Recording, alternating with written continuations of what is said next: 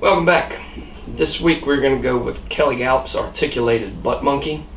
Um, this is a pattern that I overlooked for a little while. Um, I tied a ton of them, caught my first bull trout on this pattern uh, back five five years ago, five plus years ago maybe. Um, and uh, it was one of my favorites for the longest time. And then you know I gravitated toward other patterns, started designing my own, and then uh, this one kind of disappeared, which was a, a foul on me. Um, two falls ago, we were out fishing the Madison on the on the fall run, October. You know, a nice cloudy, overcast day. Just conditions were absolutely perfect. Everything that you would want on uh, on an October day like that, and um, it was tough. Couldn't move any fish. Couldn't move any fish. Um, was having a really tough day.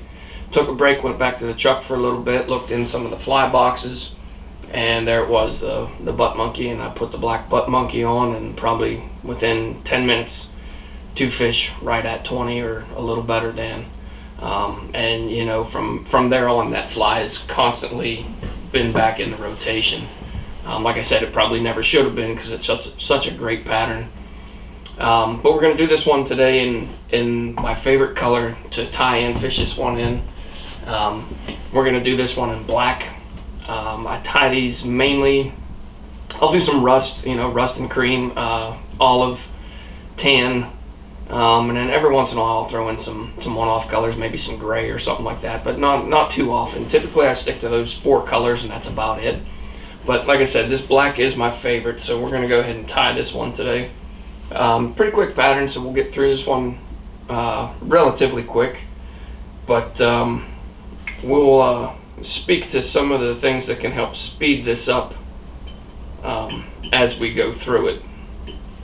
So to start on this one, gel spun 100. As always, we're just going to get a quick thread base down.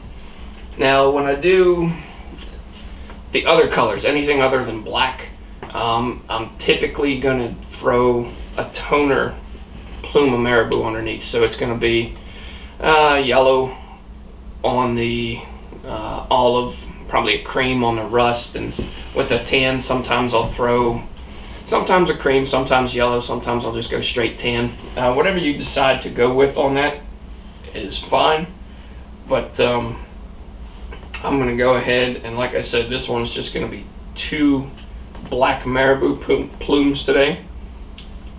I'm going to get this measured out here.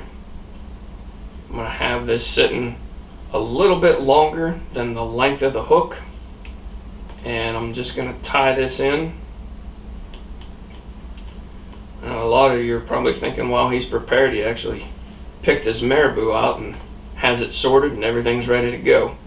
I would like to say that's the case but I forgot to turn on the damn microphone. I got halfway through the back half of the fly and had to start over. So I wasn't prepared can't even lie about it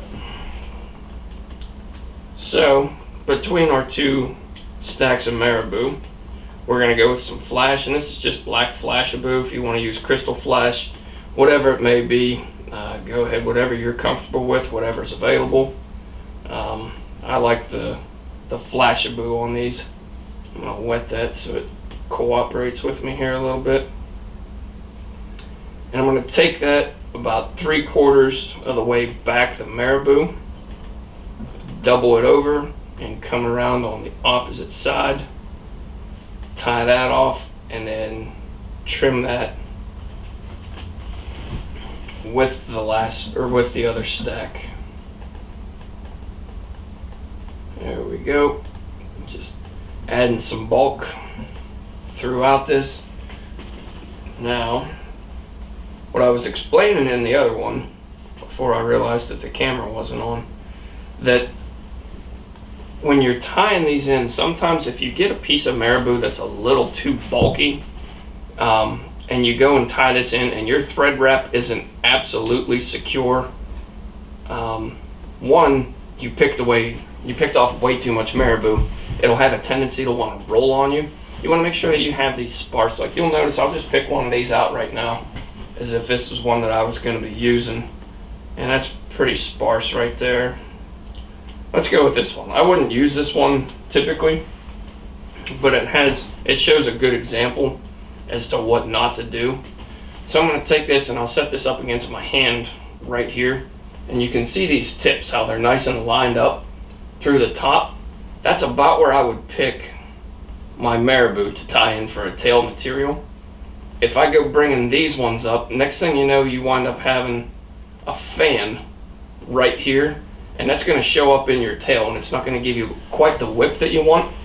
So what you want to do is just make sure that you pick these out right here and then take that and that's all you're using right there is just that for your tail section like i was saying another thing that can happen when you when you bring that entire bundle up what can happen is you're going to have too big of a bunch to get your thread to clamp down to that hook so that marabou is going to have a tendency to roll on you and your fly's going to wind up tracking all over the place so make sure that you take the time, select your material, pick them, and tie it in properly. Tie it in right.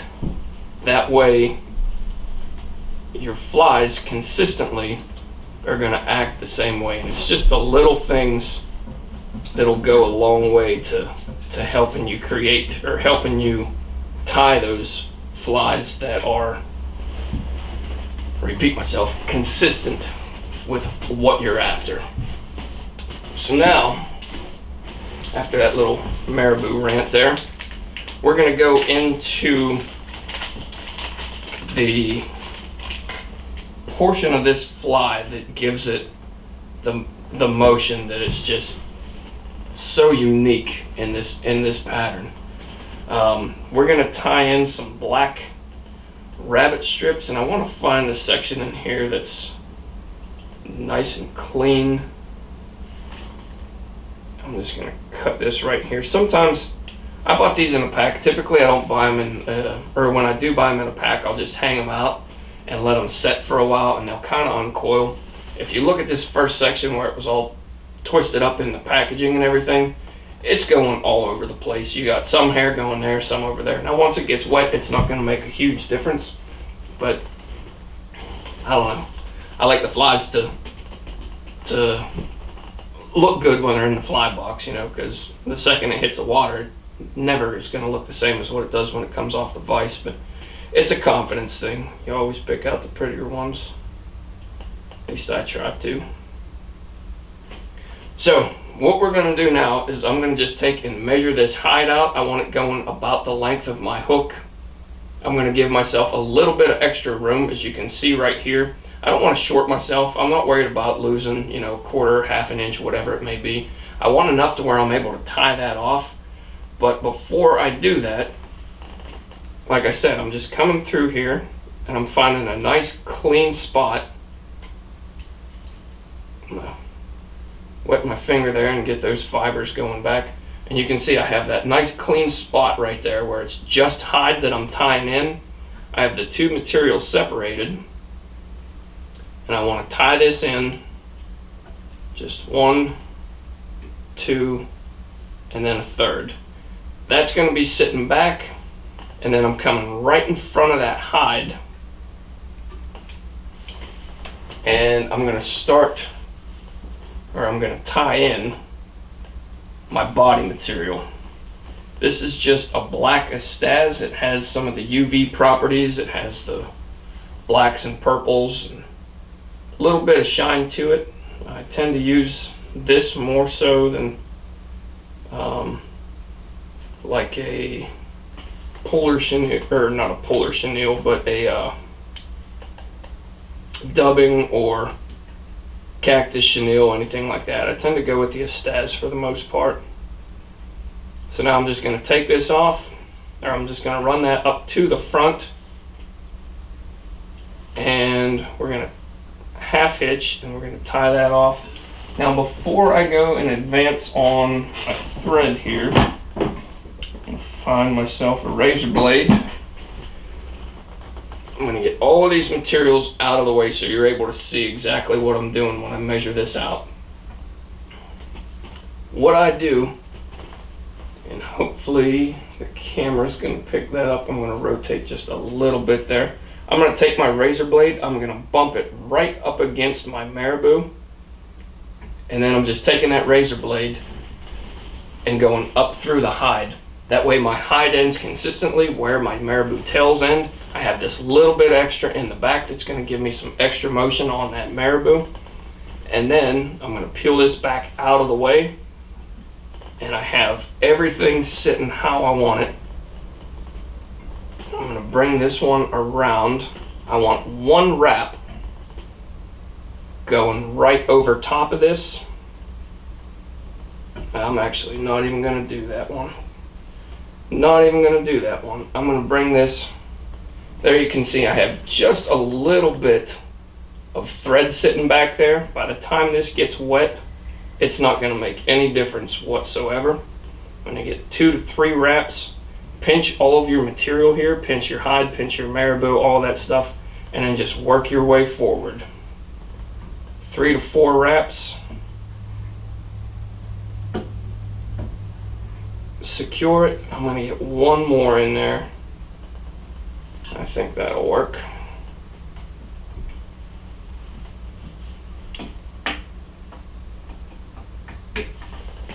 Okay, now I'm going to bring this back over the top and you're going to see you're going to have a nice seamless transition here because you peeled all that material back when you were doing when you were tying in the rabbit strips for this back section. When you tied that in, you separated the materials, you had just a hide to tie in, and now there's a seamless transition going right through there. What I was thinking about doing was going around the marabou or around the rabbit with one with one turn just so I could cover up that back section but I'd wind up creating a little bit of a gap right there so I don't want to have that gap I'll deal with you can't even see it now in this back section. If I move the Estaz back, you can see a little bit of white there from where I tied it in, but guess what? We can fix that real quick. Done. Done. Or if you're using black thread, that'll that'll make it even easier. But so now I'm going to gauge where my thread is going to be or where my hide is going to meet the eye and I'm going to peel that stuff back just slightly I'm to go one wrap over the top, right in front of my eye, one, two, a third. Get the rabbit out of my nose. And you can see we have a nice clean eye to work with there. I'm to throw a half hitch in real quick before I whip finish.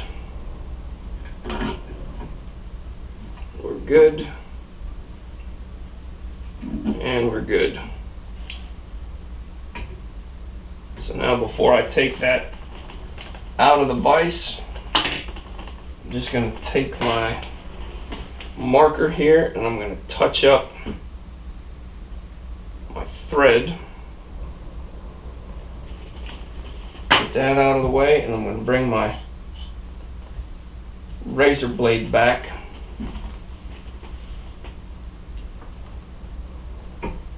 There we go. Make sure that you don't touch up your thread or anything like that. Um, stay high enough above the eye to where you're not going to go running into your thread. And uh, that way you're not going to cut it and have to restart the whole thing. Just going to get rid of some of that, but it doesn't really make a big difference. Now I'm going to go into the connection portion, and this is what makes this, um, this is what Kelly did on this pattern. Um, he was the one that articulated it, put the lead eyes on it. As it started out, it was a Scott Smith and uh, Bob Linsenman pattern, and they used it a lot for uh, for brookies. Um, this was a, from everything that I read, was a brook tr trout magnet back in the day. But like I said, there was no articulation, there was no lead eyes Kelly was the one that articulated it and put the weight on, and the rest, as they say, is history. So now I'm going to go into the front hook on this one. I'm going to get, like I said, this is an MFC 7050 size 2. The back was a size 4. I'm just gonna lay a quick thread base down here so I can articulate it and get my lead eyes on there. Everything's looking pretty clean so far. Now with black, I almost always go with the red lead eyes. It just sets it off. Um, it, it just looks so much better to me. Um, olive, I go with yellow. Tan, I'll go with either one. White, black, um, always red. Unless I'm using the MFC blue eyes. Sometimes I, I like the way that those look, especially with the gray and the whites. Those look really sharp. But whatever color you use, if you want to go yellow, if you want to go green, white, whatever it may be, entirely up to you. Somewhere or another,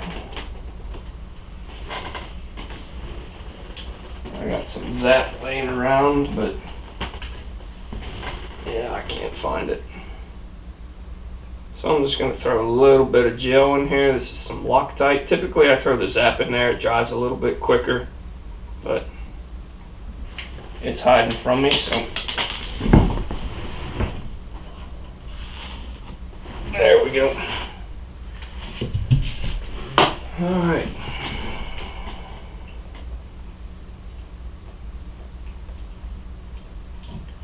Once again, we're just securing these eyes in place a little bit of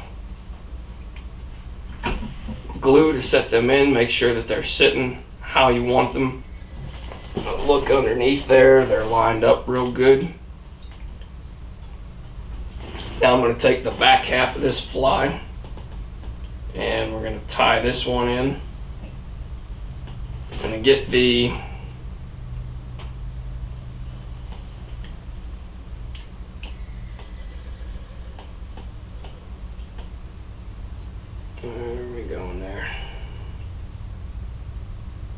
I'm going to get the wire, make sure that they're running parallel. And same thing as always, well, typically how we go with these, the width of your bead, the width of your eye right there, or the width of your connection in the back. So now I'm just going to move this forward, double it over,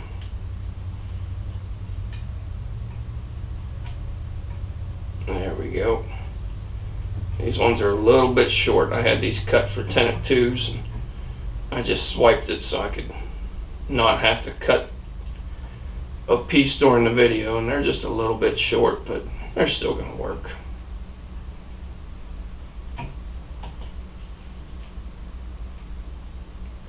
There we go.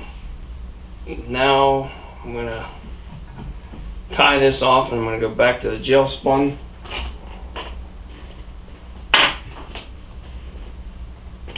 this in place. And now what we're going to do is build the skirt on this fly. I'm going to go back to that rabbit strip that I took before that was all twisted all over the place. And I'm just going to pick off of that and this is what I'm going to use for the skirt on this pattern.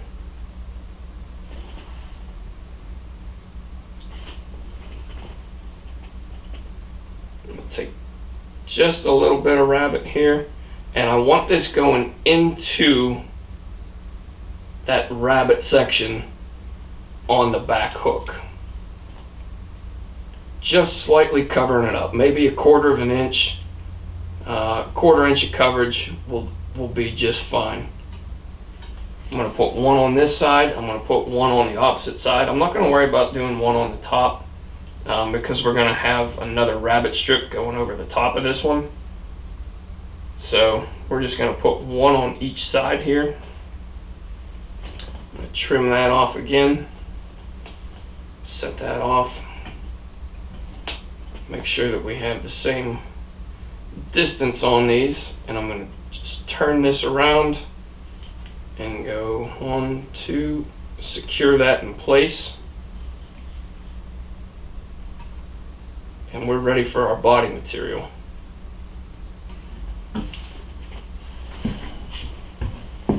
We're going to tie in the body material. Same thing as before. This is just a black Estaz. Get that secure, tying in only the cotton. And I'm going to take this just behind the eyes here. I'm going directly behind, well, not directly behind. I probably have an eighth of an inch from my eyes to where I left off with my thread.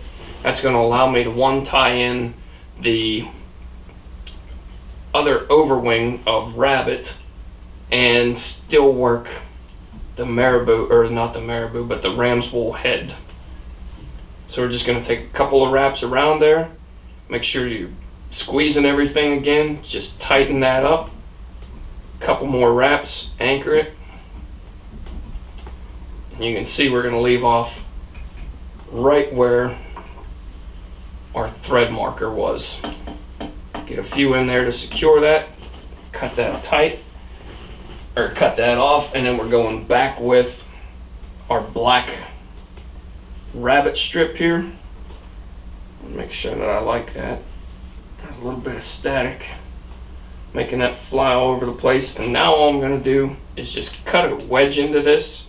Nothing real aggressive. These are magnum strips, so I mean they're a quarter inch wide. Um, they can tend to be a little bulky when you tie them in, but nothing unmanageable. So like I said, I just cut that little bit of a wedge in there, but I want to make sure that I still come around and I catch that other section that isn't wedged. It's just a little bit easier to tie that in clean when you're working with a taper as opposed to just a blunt squared off piece of hide. So there you can see the distance that we're working with right there. Now, the same thing that I did before with the razor blade, I'm going to do again. The only difference is my measurements changed. You can see where this one starts right here. Our skirt's covering that up. I'm coming back about a quarter of an inch right there. Measure that out and then it sits right over top for me basically what I want is my hide stopping about a quarter of an inch back and that's a little bit too long to be honest it's a little bit too long. The hide's going all the way or the feathers are going all the way back past that hook so I'm going to take just a little bit off here. I want just a little bit off of that.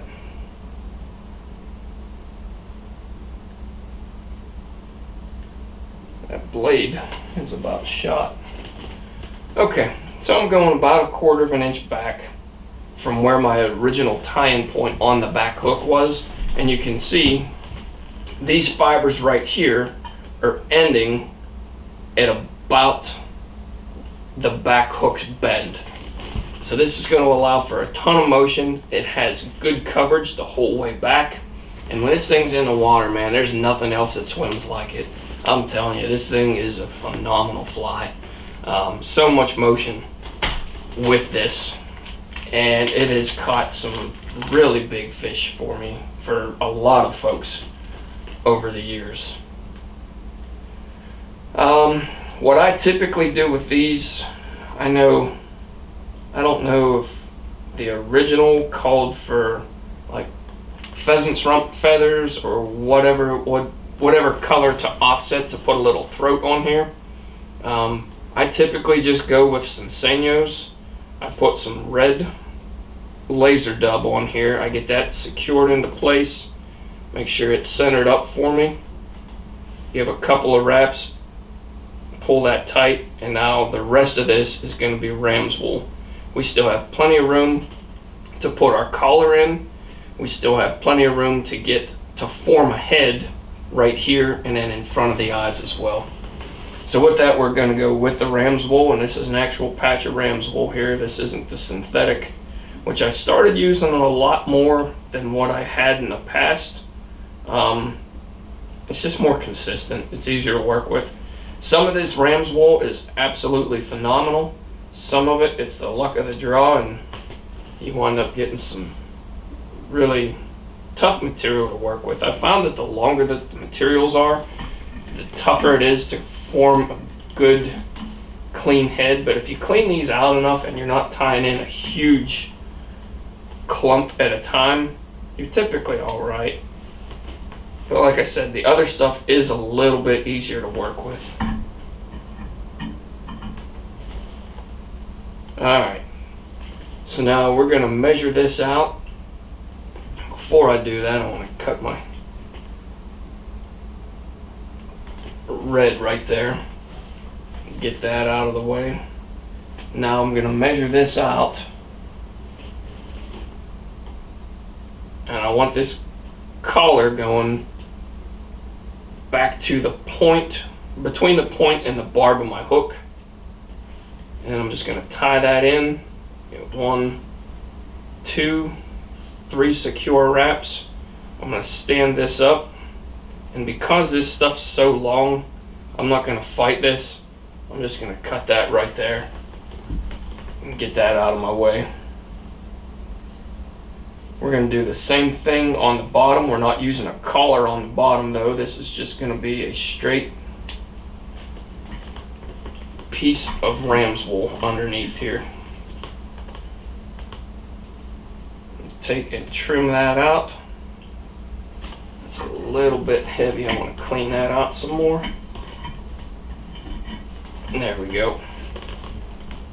You can see there, we're not using a ton of material, um, just enough to get us good coverage throughout this. So now we're going to go underneath here and I'm going to set that in place. I'm going to peel this one back, one, two. I'm going to pull tight and then just give a few more secure wraps throughout that. Now I'm going to take another piece and this is something that I do a little bit different than other folks that I see tie these. Um, if you guys watched these videos before, anything working with ram's wool, I do these. I do this technique a lot. Um, I take a generous amount, probably about what I would use for the top and bottom combined. And that thing's coming out again. then I just take this and I clip the front off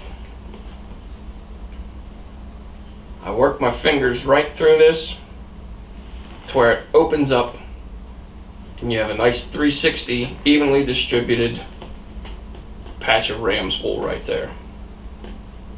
So now I work that around my eyes and I go one, two, and I'm tying this directly behind my eyes. And then I peel this back. And then same thing. One, two, and then I work my way to the front. That just gives me fuller coverage along or on my back half.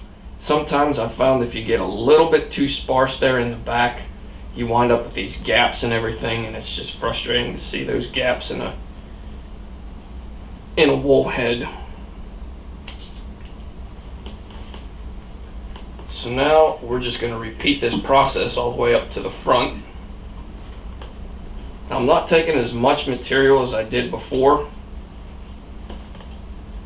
mainly because if I take too much, it's going to be tough to get that secured right down to the hook.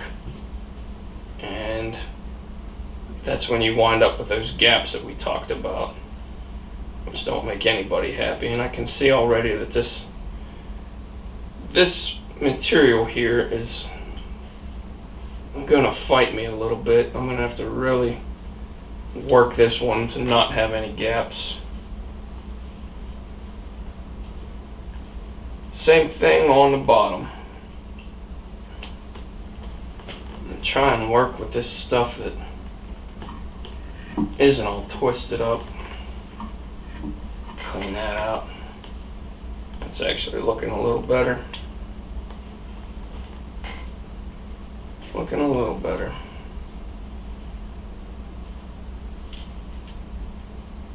We're going to go underneath on this one. Just get one, two.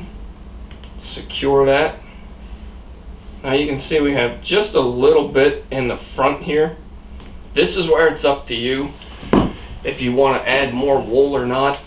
Typically, I don't. Um, if I feel good with the with the wraps that I have in here, I'm not going to add any extra wool. If I feel that I'm not going to have any gaps, I take a quick look at this. Everything looks pretty clean to me. I'm not going to. Um, but because this stuff is a little bit more sparse, I'm going to double up what I did between the eyes here. And I'm just going to get a little bit more material to go in here. I didn't like the way that that was looking. So I'm just going to open this up again, throw this material in here, and it's very sparse. Um, I don't want a ton of material because the one thing that you don't want when you're tying these wool heads is for it to be so compact with ram's wool that you can't it, it won't allow water to get in between. Like it's so compact it almost acts like a cork. So make sure that you keep these nice and loose. And I can see that that one's gonna that's gonna help pretty good right there. You can see I didn't throw a ton of extra material in there but I had just enough to where it made that head a little bit more full, but it's not to the point where it's compact. Like I can take any portion of this and squeeze down on it. It's all compressible. It's not to where there's so much wool in there that it's gonna force it to float almost.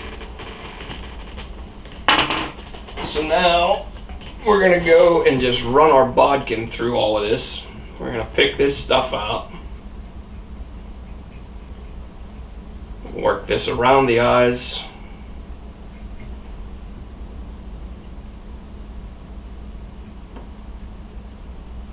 Just clean this up real good. And we're gonna start trimming. When I trim these, I always start right in the front. I find them with my scissors. And I'm actually gonna swap out scissors here. This makes it a little bit easier. They're a little bit longer and they're a little sharper too. There we go. And then I just start creating the overall shape on this top. Just getting some of this out of the way. I don't want a ton of material in there. It's a lot easier to trim this when you have a few rough cuts out of the way. With the bottom, the only thing I'm really concerned about is that I don't hit my uh, laser dub there to start. And I just take those basically flush with the eyes for now. I'll adjust those a little bit here as I go, but to start, I want those just just two flush cuts right underneath there to where I have exposure in my eyes. I can start to see, you can see underneath, I can start to see that throat that I tied in. And then I'm making the rough cuts on the head here.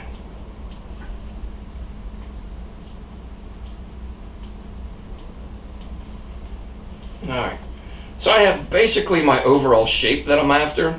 Um, there's there's a mess up here at the top and uh, we're gonna fix that here with a couple of quick cuts. Let me keep my vise from spinning. I want to just get my shape on this one as well. Now what I'm going to do with that to make this easier is I'm going to pull this out of the vise and I'm going to take and trim this let me make sure that I'm in the frame there. I'm going to take and trim this against the grain which allows me to take a good chunk of the excess material out but I can still keep my overall shape. A lot of this stuff that's in that collar I don't really want there because it's a little bit too bulky. So I want to lighten out that collar just slightly. And then I'm going to take, see if both of my sides are even, which right now I'm not. I want to take and just trim this right here. just to get my shape a little bit more close to how I want it. Now I'm going to throw this back in the vise. And I still have a little bit of work to do on all this wool. So I'm going to go back to the other scissors here. I'm going to make sure that I can see my eyes. That's a that's how I start. I always want to see these eyes. I'm just going to trim out around them a little bit. And then there's some fine tuning down through here. I really want to bring this, I want to be able to see this body and that throat. So what I'm going to do is just make some quick trims right around here, right around those two sections. I'm going to bring this underneath section into shape a little bit. I'm just going to cut that off square. Now I can see that throat a lot a lot better. It's a lot cleaner. But I still want a little bit of this out of there.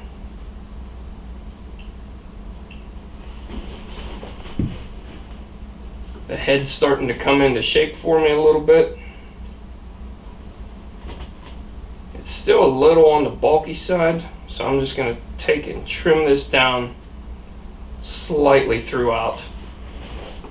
And yeah, I'm going to take this out one more time. You can shut it off right now if you want. All I'm doing is just fine tuning this trim. Completely up to you guys. It won't hurt my feelings. Just wanted to take a little bit of the roundness out of the top of that. Got a little bit bulky for me. Um, just wanted to take a little bit of that out. There we go.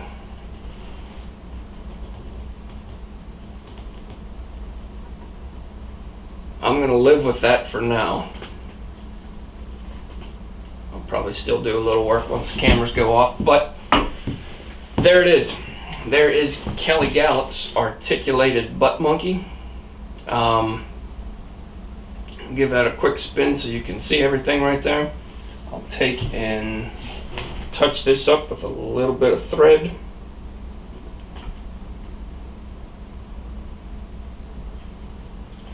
And we're done. That's going to wrap this one up. As always, if there's any questions or comments, leave them with me and I'll get back to you. But thanks for watching and we'll catch you on the next fly.